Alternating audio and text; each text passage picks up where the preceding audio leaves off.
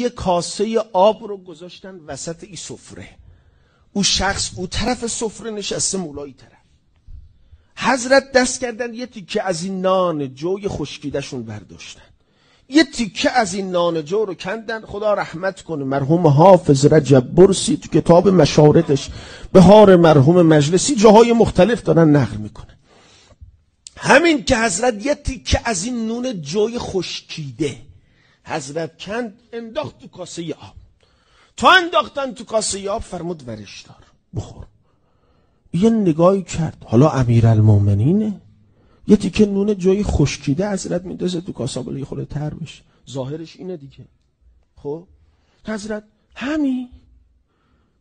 حضرت فرمود ورد بخور. میگه دست کردم تو کاسه آب نون جو رو تو کاسه آب گرفتم. از کاسه آب که بیرون آوردم دیدم نون جو نیست یه تیکه مرغ بریون شده. این به برکت تحریم بود.